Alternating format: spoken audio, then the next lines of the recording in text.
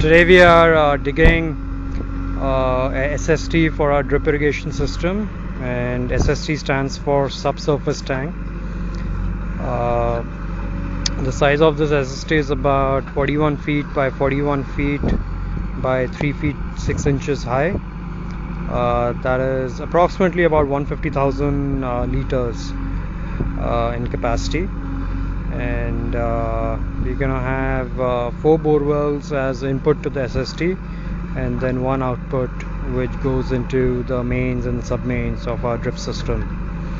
So the JCB is in process and he's been digging uh, for about a couple of hours. And he's done about one fourth the size already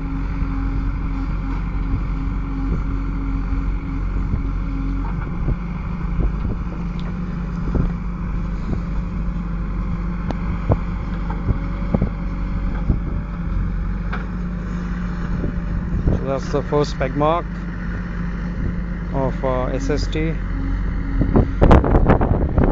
41 feet away we have another peg mark right there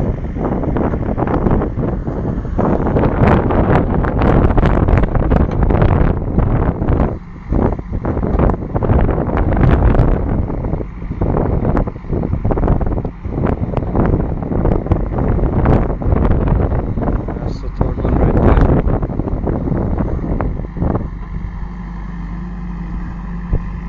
And the JCB is uh, on the fourth peg already.